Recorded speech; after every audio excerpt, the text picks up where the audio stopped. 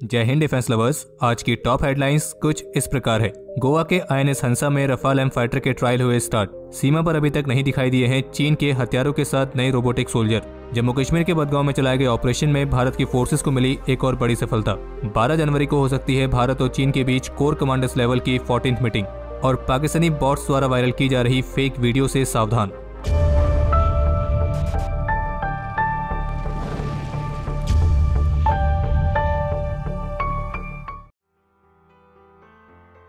तो जैसा कि पहले के डिफेंस अपडेट में हमने आपको सूचित किया था कि इस महीने इंडियन नेवी द्वारा रफाल फाइटर के नेवल वेरिएंट यानी कि रफाल एम के ट्रायल्स कंडक्ट किए जाएँगे। और इन ट्रायल्स के दौरान ये देखा जाएगा कि जो ये रफाल एम फाइटर है, कि क्या ये इंडियन नेवी के एयरक्राफ्ट कैरियर से ऑपरेट करने के लिए एक सुटेबल एयरक्राफ्ट है या नहीं।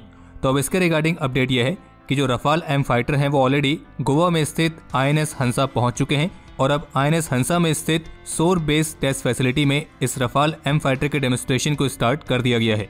और इन रफाल एम फाइटर्स के ट्रायल्स के बाद, आने वाले कुछ महीनों में F eighteen Super Hornet fighter के भी इसी तरह के ट्रायल्स को इस सोर बेस टेस्ट फैसिलिटी में कंडक्ट किया जा सकता है। और केवल एफ़ एटीन ही नहीं, बल्कि कुछ मीडिया सोर्सेज के मुताबिक गोवा में स्थित आईएनएस हंसा फैसिलिटी से ग्रिपन फाइटर के भी इस तरह के ट्रायल्स कंडक्ट किए जाने की संभावना है। क्योंकि इंडियन नेवी के कैरियर बेस्ड फाइटर्स के रिक्वायरमेंट के लिए जो टेंडर जारी किया गया था तो उस टेंडर में ग्रिपन फाइटर भी एक कंटेंडर के तौर पर शामिल है। और जबकि इस मामले से जुड़े कुछ लोगों का ये भी कहना है कि जिस रफाल एम फाइटर के ट्रायल्स को स्टार्ट किया गया है तो वो रफाल फाइटर के F four equivalent standard naval version है।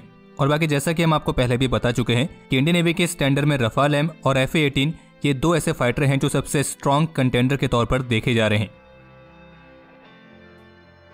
अभी कुछ दिनों पहले ऐसी कुछ रिपोर्ट्स देखने को मिली थी, जिनमें इस तरह के दावे किए गए थे कि चाइनीज़ आर्मी ने भारत के साथ लगी सीमा पर अपने ट्रूप्स को अब रोबोटिक सोल्जर से रिप्लेस किया है। और अब इन्हीं रिपोर्ट्स के बीच आज ए की तरफ़ से एक रिपोर्ट जारी की गई है, जिसमें सिक्योरिटी फोर्सेज के टॉप सोर्सेज के हवाले से बताया गया है कि अभी तक चीन के साथ लगी सीमाओं पर इस तरह के कोई भी रोबोट सोल्जर्स नहीं देखे गए हैं। लेकिन सोर्सेस का यह भी कहना है कि अगर चीन सीमा पर इस तरह के रोबोटिक सोल्जर्स को डिप्लॉय करता भी है तो वो चाइना की पीपल्स लिबरेशन आर्मी के लिए काफ़ी मददगार साबित होगी, क्योंकि जो चीनी सैनिक हैं, उन्हें वहाँ के कड़ाके की ठंड से निपटने में बहुत मुश्किल हो रही है। और ये लगातार दूसरा साल है जब चीनी सैनिकों को उनके सुपीरियर्स द्वारा भारत के साथ लगी सीमाओं पर तैनात रहने के लिए मजबूर किया गया है, जहाँ का टेम्परेचर ही माइनस ट्वेंटी से माइनस फोर्टी डिग्री सेल्सियस के बीच में है। और जैसे कि हमने आपको पहले भी बताया था कि एक तो लद्दाख जैसा हाई एल्टीट्यूड एरिया और ऊपर से टेम्परेचर भी माइनस में तो ये ऐसी कंडीशंस हैं जहाँ पे चीनी सैनिकों को रहने का बिल्कुल भी एक्सपीरियंस नहीं है। और इस वजह से जब से भारत और चीन के बीच विवाद शुरू हुआ है और चीनी सैनिकों को मजबूरी में एलएसी पर तैनात रहना पड़ रहा है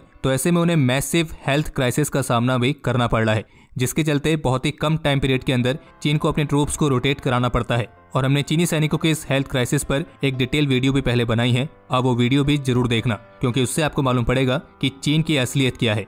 और खैर, फ़िलहाल अभी वापस से इस रिपोर्ट पर आते हैं। तो फ़िलहाल सिक्योरिटी सोर्सेज की तरफ़ से तो कंफर्म किया गया है कि अभी तक सीमा पर हथियारों के साथ लैस उन्होंने कोई भी रोबोटिक सोल्जर्स तो नहीं देखे हैं, जिनको लेकर कुछ समय पहले चिंदी मीडिया की तरफ़ से भी दावा किया जा रहा था। और चूँकि टेम्परेचर माइनस पर है तो सीमा के पास ऐसी कई सारे लोकेशन है जहाँ पे चाइनीज़ सोल्जर्स को अपने बैरक से बाहर निकलने में ही दिक्कतें आ रही हैं। और सोर्सेज का ये भी कहना है कि अभी चीनी सैनिकों के हालात ऐसे हैं कि वो थोड़े ही समय के लिए अपने बैरक से बाहर रहते हैं और फिर जैसे ही उनकी हालत खराब होने लगती है, वो तुरंत ही अपने बैरक में वापस चले जाते हैं। और ये एक ऐसा बहुत बड़ा कारण है, जिसके चलते अगर चाइना सोल्जर्स के बदले अपने रोबोट्स को यहाँ पर तैनात करता है तो उससे बस होगा ये कि इनके जो चीनी सैनिक है, उनका सर्वाइवल रेट थोड़ा सा बढ़ जाएगा। यानी कि थोड़ा और कुछ समय तक वो सर्वाइव कर जाएँगे। वरना चीनी सैनिक तो आपको केवल वीडियोस में ही फिट दिखाई देंगे। असलियत में वे इसके विपरीत हैं। और अभी तो ये रिपोर्ट्स भी देखने को मिली है कि वीडियोस में भी चीनी सैनिक नहीं है, बल्कि वहाँ पर भी चीनी गवर्नमेंट अपने एक्टर्स को इस्तेमाल कर रही है। जम्मू के पौनेचक एरिया से एक सस्पेक्टेड ड्रोन को रिकवर किया गया है और इसको लेकर पुलिस ऑफिशियल्स का कहना है कि उन्होंने एक ड्रोन लाइक ऑब्जेक्ट को रिकवर किया है जो कि अभी उनकी कस्टडी में है और इस मामले को फ़िलहाल अभी वेरीफाई किया जा रहा है। इसके अलावा बात कर लेते हैं जम्मू कश्मीर को स्वच्छ बनाने वाले अभियान की। तो बता दें कि इसी अभियान के तहत हमारे फोर्सेस ने आज सुमोरो के संगठन जैश के तीन और सुमोरो को होरीफाइड कर दिया है। और इन तीन में से एक की पहचान वसीम के तौर पर हुई है और इनके पास से तीन ए के फिफ्टी राइफल्स भी रिकवर की गई हैं। और जबकि कश्मीर आईजीपी के मुताबिक 2022 में इसे शुरू हुए केवल सात ही दिन हुए हैं तो इन्हीं सात दिनों में अभी तक टोटल 11 आतंकियों को ढेर किया गया है। और इनमें से अधिकतर जैश और लश्कर जैसे सुअरों के संगठन के टॉप के सुअर भी थे। और वैसे आतंकियों से याद आया, पाकिस्तान ऑफिशियल्स की तरफ़ से कहा गया है कि पंजाब में भारत द्वारा S four hundred air defence system की तैनाती को काउंटर बैलेंस करने के लिए पाकिस्तान ने भी अपनी तरफ़ से पूरी तैयारी कर रखी है। और पाकिस्तानी मिलिट्री की मीडिया विंग आईएसपीआर के डीजी का कहना था कि पाकिस्तान मिलिट्री भारत के इस लेटेस्ट डिप्लॉयमेंट और प्रोक्यूरमेंट से अच्छे तरीके से अवेयर है और उसके लिए हमने ज़रूरी मेजर्स लिए हैं। खैर, पाकिस्तान को और क्या ही कहना। लेकिन हाँ अगर आपने अभी तक हमारे इस चैनल को सब्सक्राइब नहीं किया है तो सब्सक्राइब ज़रूर कर लें और बेल आइकन भी दबाएँ, क्योंकि आने वाले दिनों में हम और भी इंटरेस्टिंग वीडियोस आप सभी के लिए लाने वाले हैं। तो वो वीडियोस आपसे मिस ना हो तो इसके लिए ज़रूरी है चैनल को सब्सक्राइब करना और बेल आइकन को भी दबाना। और अब अगर आप चैनल को सब्सक्राइब करने के लिए मान गए हैं तो सब्सक्राइब से पहले लाइक का बटन पड़ता है तो उसको क्लिक करते हुए जाएँ। गवर्नमेंट सोर्सेज के मुताबिक भारत और चीन 12 जनवरी को कोर कमांडर्स लेवल की फोर्टीन मीटिंग को आयोजित कर सकते हैं और इस मीटिंग के दौरान मुख्य रूप से हॉट स्प्रिंग एरिया वाले इशू को सॉल्व किए जाने पर बात की जाएगी। इसके अलावा एक अपडेट ये भी सामने आया है कि उत्तराखंड के धारचूला में महाकाली नदी के ऊपर एक पुल का निर्माण करने के लिए भारत और नेपाल के बीच एक एमओयू को यूनियन कैबिनेट की तरफ़ से अप्रूवल मिल चुका है और सीनियर ऑफिशियल्स की तरफ़ से बताया गया है कि निकट भविष्य में इस पुल का निर्माण करने के लिए भारत और नेपाल एमओयू साइन करेंगे और इस पुल का जो निर्माण कार्य है, उसे तीन सालों के अंदर पूरा किया जाएगा। इसके अलावा एक अपडेट ये भी सामने आया है Barak eight medium range surface to air missile system की सेल को लेकर इसराइल एरोस्पेस इंडस्ट्रीज़ और मोरक्को के बीच बातचीत चल रही है। हालाँकि बराक एट मिसाइल सिस्टम की इस डील को लेकर फ़िलहाल अभी ऑफिशियल्स की तरफ़ से किसी भी बात की पुष्टि नहीं की गई है। और बाकी ये तो आप सभी को पता ही होगा कि बराक एट मिसाइल सिस्टम को भारत और इसराइल ने संयुक्त रूप से विकसित किया है। अब जो न्यूज़ हम आपको बताने जा रहे हैं तो ये बहुत ज़्यादा ज़रूरी है कि भले ही आप इस पूरी वीडियो को शेयर ना करें, लेकिन वीडियो के इस वाले अपडेट को जितना ज़्यादा हो सके, उतना ज़्यादा शेयर करें। तो पहले आपको ये बता दें कि हुआ क्या है। तो आपको बता दें कि सोशल मीडिया पर एक फेक वीडियो काफ़ी ज़्यादा वायरल हो रही है, और इस वीडियो के साथ ये दावा किया जा रहा है कि कैबिनेट कमेटी ऑन सिक्योरिटी यानी कि सीसीएस की हाई लेवल मीटिंग के दौरान इंडियन आर्मी के जो सिख सोल्जर्स हैं, उनको हटाने की बात की गई है। हालाँकि अगर आप इस वीडियो को देखेंगे तो आपको क्लियर हो जाएगा कि ये एक फेक न्यूज़ है, क्योंकि ज़ाहिर सी बात है इस फेक न्यूज़ को फैलाने के लिए इस वीडियो में अलग से वॉइस ओवर किया गया है, जो कि साफ़ मालूम पड़ता है।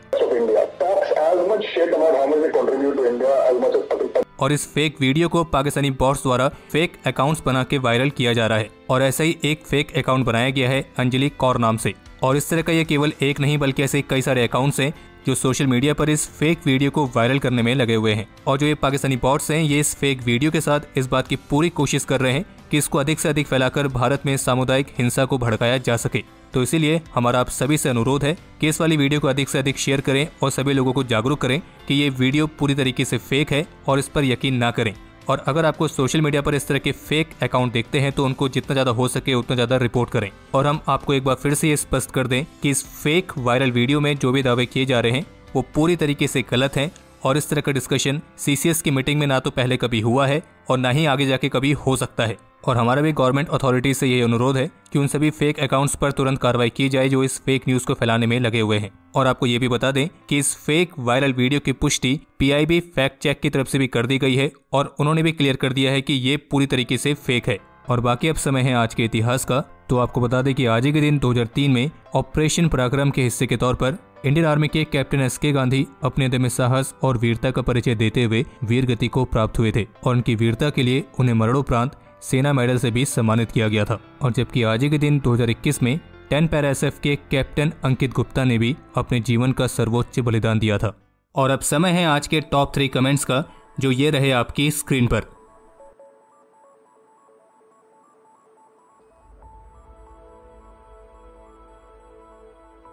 तो हमारे आज के इस एपिसोड के लिए इतना ही। उम्मीद है आपको एपिसोड पसंद आया होगा। अगर पसंद आया तो वीडियो को लाइक ज़रूर करें, ज़्यादा से ज़्यादा शेयर करें। इस वीडियो को लेकर कोई भी सुझाव हो, सवाल हो, उसके लिए कमेंट सेक्शन ओपन है। और अगर आपने चैनल को सब्सक्राइब नहीं किया है तो सब्सक्राइब करना ना भूलें।